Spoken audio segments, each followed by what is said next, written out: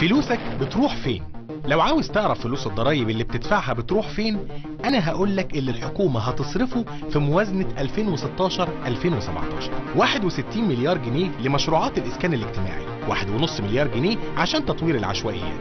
1.2 من عشرة مليار جنيه لتطوير القرى الفقيرة. 3.9 من عشرة مليار جنيه عشان مترو الأنفاق. 12.3 من عشرة مليار جنيه لقطاع النقل. 6.4 من عشرة مليار جنيه عشان محطات الصرف الصحي. 4.5 مليار جنيه لمحطات المياه. 8.3 من عشرة مليار جنيه عشان محطات الكهرباء الجديدة. 1.1 من عشرة مليار جنيه عشان زراعة المليون ونص فدان والخلاصة يعني عند كده حوالي 92 مليار جنيه عشان البنية الأساسية اللي هي الإسكان والمرافق والتنمية العمرانية وقطاع النقل ومشروعات المياه والري والتنمية الزراعية. إجمالي الإنفاق على قطاع التعليم 104 مليار جنيه. إجمالي الإنفاق على قطاع الصحة 49 مليار جنيه. مجموع مصروفات الدولة السنة دي حوالي تريليون جنيه. ربعها بيروح على مرتبات والربع للدعم والمزايا الاجتماعية وحوالي 15% بيصرف على الاستثمارات. بس ده برضه مش كفاية. وكلنا عاوزين بلدنا تكبر وتبقى أحسن وتقدم خدمات أكتر. طب الدولة تجيب منين بدل ما نستلف؟ مش واجب برضه ننتج ونشتغل عشان نكسب وندفع اللي علينا؟ الضرايب دي مش كفاية الضرايب عشان يبقى عندنا فلوس كفاية نصرف بيها على بلدنا بجهودنا. كويس الموضوع يعني فعلا مبسط والأسلوب نفسه اللي بيتقال بيه زي ما حضرتك قلت العامية أعتقد تبقى يعني أدعى للناس تفهم أو ال- ال- الموضوع يوصل بشكل أسرع. بس هو دايما يعني ده مثال كان في دايما حرب بين الضريبة والناس يقول لك أنتوا فلوسنا بتاخدوها بتعملوا بيها إيه مم. مش شايفين حاجة بتتعمل. آه لا مش عاوزين ندفع ضرائب مع انه يعني الضرائب دي في كل الدول آه، يعني شق أساسي في من موارد الدولة مم. وللأسف يعني إحنا هنا بنت... في ناس كده بتهرب منها فهلوه يعني مم. وعاوز يخبي عشان و... وطبعا المقولة السائدة ما فيش حاجة بتتعمل فالحكومة عارفة إن ده مش كفاية بس هتجيب منين بقى لازم يعني إحنا المقصود من الفيديو ده ان إحنا لازم نشتغل ننتج نكسب وندفع ضرائب مش طيب. ناخد ما توجه لكوش لهم مثلا في وقت من الأوقات إن أنتوا كده بتبرروا للدولة أو بتبرروا للحكومة أو يعني واخدين الاتجاه ده بس اتوجه طبعا مم. مفيش شك يعني يتوجه إنه أنت أي حاجة بتقول آه، عاوزين ناخد آه، ندعم حاجة بتتعمل من الدولة بتعملها فطبعا نتوجه لهم يعني مم. بس إحنا بنتكلم بمنطق يعني إحنا مش بنتكلم سياسيا ابدا. بنتكلم اقتصاديا بس إنه أنت مع حضرتك معاك 1000 جنيه وعاوز تعمل حاجات ب 3000 جنيه. فهجيب منين؟ طب اقترح. فأنا يعني الشخص اللي بيعارض لازم يقدم حل. فالحلول اللي موجوده كلها بتقوم إن إحنا ننمي موارد الدولة. وده مش شغل بيتعمل في يوم وليلة ده بيتعمل في سنين عشان نوصل للهدف ده. طيب آه، فكرة ال- الموازنة العامة للدولة ناس كتير يعني بتسأل آه، يعني إيه موازنة عامة؟ يعني بتتحسب إزاي؟ لو حضرتك عايز تبسطها لنا دلوقتي تقول لنا إيه؟ هو إحنا عملناه برضو في فيديو بيتكلم عن الموازنة العامة بيقول أنتوا لو لو شخص آه، دخله في الشهر 2000 جنيه. ومصاريفه 3000 جنيه فيبقى عنده عجز 1000 جنيه. العجز ده عشان يعم- يحله يا إما يشتغل ساعات إضافية. يا إما يستلف ويعمل جمعية يا إما يوفر في مصاريفه مم. فالتلاتة دول بالظبط اللي الدولة بتعملها يعني هو ده ده ايراداته وده مصاريفه فلازم يعمل التلاتة من دول يعني الموازنة هي إيرادات ومصروفات وإزاي أعمل توازن ما بينهم يعني أوازن الموضوع وأشوف ده هيجي من فين وده هي وده هيطلع فين بالظبط. فهو مطلوب دايما إن إحنا نزود إيرادات.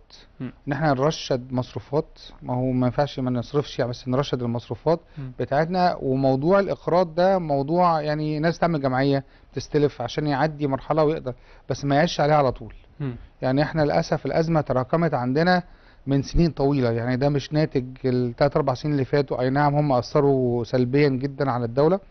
بس ده ناتج 40 سنة بتاخد قروض.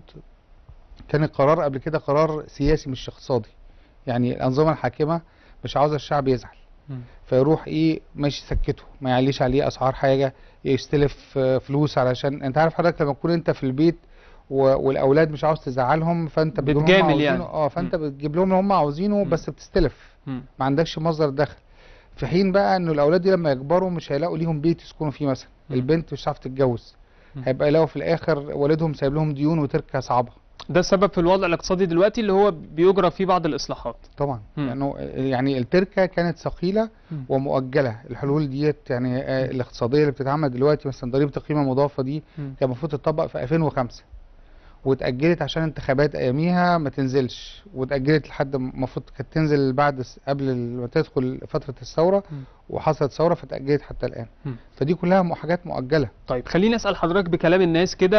آه، ناس كتير كانت بتتكلم حول آه، يعني آه، قرض صندوق النقد وكانوا بيقولوا إن يعني هو السبب الرئيسي في م- مشكلة الدعم وإن كانت مصر في غنى عن ال- القرض ده. حضرتك لو هتبسط لنا المعلومة تقول لنا إيه؟ اللي أنا كنت لسه بحكي لحضرتك ده الإجراءات كلها اللي بتتعمل دلوقتي التعويم ترشيد الدعم كل ده مم. من سنة 1974 مم. متخطط له. متخطط له. متخطط له إنه يتعمل لأنه مش طبيعي إن حضرتك تقعد تدي دعم للمستحق وما يستحقش. يعني هي الفكرة مش بس إن يعني مش كده يعني هقول لك اللي بيدور في كلام الناس بالظبط. مش فكرة إن إحنا عايزين ناخد القرض ده فهو ده تأثيره على الموضوع. إحنا مش وإحنا في غنى عن القرض أو ممكن مصر تتخذ أي إجراء آخر غير موضوع القرض؟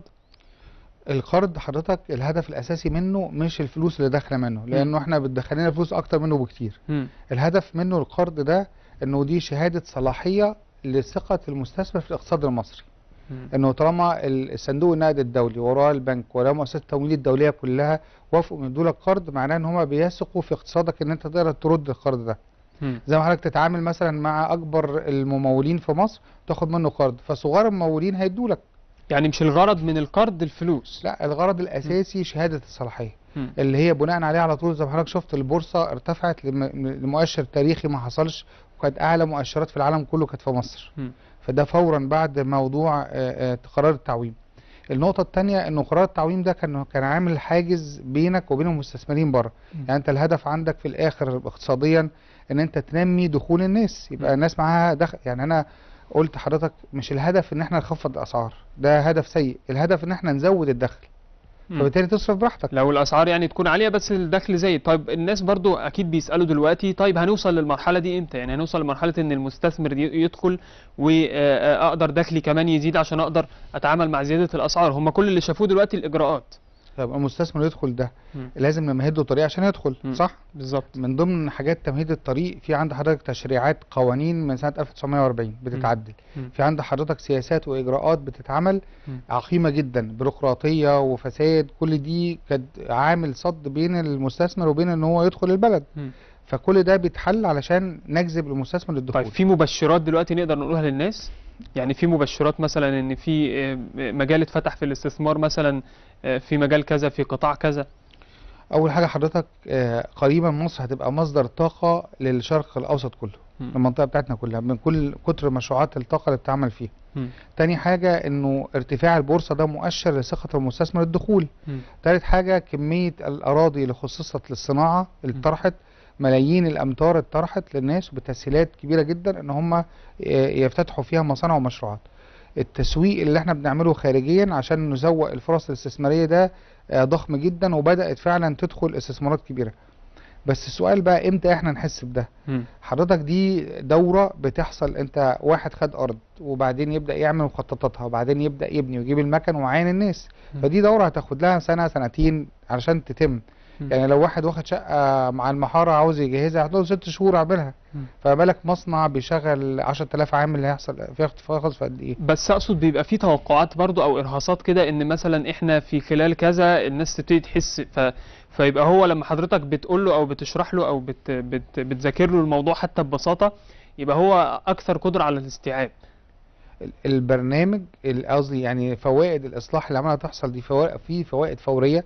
بتحصل مم. زي مثلا آه، طروحات عاملينها مشروعات صغيرة ومتوسطة للشباب هتنزل كمان شهرين يعني خلال الشهور اللي جاية هتلاقي في مصانع كتير جدا بتتفتح مم. وتملك للشباب مم. كويس أنا بتكلم عن المشروعات الضخمة المشروعات الضخمة دي اللي يبان أثرها على ملايين الناس دي مم. على الأقل هتاخد لها من سنة إلى سنة ونص سنتين طيب آه، في اتجاه دلوقتي لتخفيض الدعم أو يعني ناس كتير كمواطنين متخوفين من إلغاء الدعم آه، حضرتك لو هتطمنهم تقول لهم إيه هو هو مش هو مش إلغاء دعم حضرتك هو ترشيد دعم يعني اللي يستحق بس هو اللي ياخد مم. يعني هو مش فيش حاجة مش هيتلغى إنه محدش هياخد دعم لأنه إحنا عندنا طبقات فقيرة جدا. آه، تستحق الدعم تستحق الدعم كمان من كل من كل المصريين يعني مش مم. من الدولة بس. آه، فهو النقطة إنه أنا ما أجيش ألاقي واحد آه، راكب عربية 8 2 مليون جنيه وأديله ده بنزين مدعم. ما يجيش سفارة من السفارات عندها عربية 8 سلندر بتحرق بنزين واديله بنزين مدعم ده مش مش مش منطقي. آه، حد مقتدر وغني ومعاه بطاقة تموين. لأن هو حضرتك بياخد حق بتاع حد تاني أولى بيه.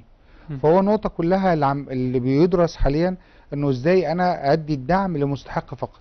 غير المستحق ده هو يقدر يعني ما ينفعش ياخد حاجة مش بتاعته طيب إيه أكتر الاسئله بتيجي لحضراتكم يعني في. في المجال الاقتصادي ده إيه أكتر الحاجات اللي يعني ممكن تكون غايبة عن الناس هو أكتر هي طبعا حسب حديث الساعة يعني. لكن إحنا بنحاول آه، نشرح الموضوع قبل ما الناس يبقى صعب عليهم يعني آه، جه موضوع التعويم موضوع الدعم آه، موضوع اتخاء مؤشرات البورصة اللي بتحصل. فإحنا يعني كلهم مرتبطين ببعض يعني نقدر كده من خلال مثلا فقرة زي النهارده دي نطلع منها إن كل المواضيع دي مرتبطة ببعض وإن آه، آه، في النهاية هي سلسلة إجراءات آه، تسببت مثلا في وضع مثلا اقتصادي ممكن يكون صعب على الناس دلوقتي لكن هو منتظر منه من خلال الإجراءات دي آه، ناتج بعد كده خلي بالك حضرتك سلوك المواطنين. بيزود الأزمة مم. يعني إحنا ركزنا في جانب من عندنا برضو على سلوك المواطن نفسه في استهلاكه يعني لما حصلت أزمة السكر الأخيرة مثلا جزء منها كان المواطن. والتاجر التاجر الجشع بيخبي السكر المواطن عاوز ياخد أكبر كمية لتفيض عن احتياجه عشان خايف لا يخلص من عنده مم. فيأثر على جاره التاني اللي معرفش يحوش زي ما ده حوش. آه يعني سلوك المواطن بيتدخل سلبا هنا في ال... طبعا بيزود مم. الأزمة مم. طيب نشوف كده فيديو عن سلوك المواطن في استخدامه للبنزين أو للمواصلات يعني بشكل عام ونكمل دول تلاتة أصحاب ساكنين في منطقة واحدة وبيروحوا نفس الكلية. مش فارق معاهم إن لازم كل الكلية تعرف إن عندهم عربيات ومش بيتخانقوا على البلاي ليست اللي هيشغلوها. لما كل يوم واحد منهم يروح بعربيته بدل التلات عربيات ما يروحوا نفس المشوار وفروا تلت البنزين وفضوا تلت الشارع وبقى كل يوم واحد بيتعب من السواقة واتنين مريحين. التالت بقى قاعد يكلم صاحبته طول الطريق ملناش دعوة بيه. واحد يجي يقول لي بقى بقول لك إيه؟ مين اللي قال دي؟ أقول له بص يا باشا الفقرة دي اتصورت وعايز تذيع لزيع كل العيال دي موديلز ومخلصين جامعة أصلا. بس الفكرة حلوة. إيه رأيك؟ ما تيجوا نعمل كده. حلو الفيديو لطيف وبسيط كده. بس ممكن الناس تسأل حضراتكم وتقول لكم هنا برضو يعني أنتم بتدعوا لحاجة آم، مستحيلة شوية أو إن يعني يعني إيه مثلا إحنا ك ك كثلاث بيوت أو ثلاث شباب مثلا من مناطق مختلفة ولا كده؟ إزاي هنشترك في عربية ولا؟ هما يعني زمايل في الكلية يعني مم. هما مقصود بيها إنه إذا أنا قدرت إن أنا رايح نفس الطريق ونفس ال نفس ال الوقت بتاعي فأنا ممكن اللي حواليا يروحوا معايا في نفس ال يعني دي حضرتك مطبقة بره في برامج على الموبايل معمولة مم. إنه ال إنه زي كريم والشركات السيارات دي. إنه بيقول أنا طريقي كذا بروح من الساعة كذا لكذا. وفي بعض الأماكن في بعض الدول مثلا في نيويورك مثلا في شوارع بتتقفل ممنوع عربية يمشي فيها فرد واحد ممنوعة من الساعة كذا للساعة كذا فحتى لو هم مش أصحاب ممكن يركبوا مع بعض في يوم. و... ويرجع تاني يوم اتنين تانيين أو ثلاثة تاني يعني يركبوا في عربية حد تاني بالظبط. فطبعا ده يخفف الزحمة وقلل الاستهلاك حتى أوفر للمجموعة اللي ركبت يعني مم. طيب إحنا ممكن كمجتمع آه، نعدل سلوكياتنا دي ولا ولا صعب نستجيب لحاجات زي دي لأن إحنا مش متعودين عليها هو يعني المنطق بيقول إحنا لازم نعدل قبل ما تتفرض علينا غصب عننا نعدل يعني مم. يعني اللي خلى مثلا أسعار الكهرباء ارتفعت. فغصب عن الناس بدأوا يخفضوا طب ما طب. ما يخفض استهلاكك مم. يعني بدل ما تفتح التكييف وتمشي بره الأوضة اطفيه. فهو ال... كده بقى غصب عنه لازم هو يخف المفروض إحنا نعمل كده في المية حضرتك إحنا بنتف... شوف أنت الشوارع الناس مليانها مية بيرشوا عربيات بيغسلوها يسيب الحنفية مفتوحة وبيعمل حاجة تانية فده لها شويتين كمان فنبتدي نقتصد في المية حتى ده حرمانية يعني مم. يعني إسراف دي كلها حرمانية مش عشان المية رخيصة نعمل كده يعني لو إحنا اتجهنا بسلوك إيجابي م- ممكن ده يساهم في في تخفيض الأزمة شوية أو إن الناس ما تبقاش حاسة ب... ب... ب... بالوضع الاقتصادي بالصعوبة اللي إحنا حاسينها دلوقتي هي دي حضرتك دي أزمة في حد ذاتها مم. لأنه أنت أما أنا أوفر كيلو وات واحد. في 100 مليون مواطن بيستعملوه فأنت عندك 100 مليون كيلو وات توفير يعني طيب. الناس بتبص لها طيب أنا عايز قبل ما نختم مع حضرتك أنتوا عاملين حملة برضو اسمها نسند معاك آه تمام. دي إيه ال- الغرض منها آه، دي إحنا طلعناها بعد قرارات تعويم وترشيد الدعم.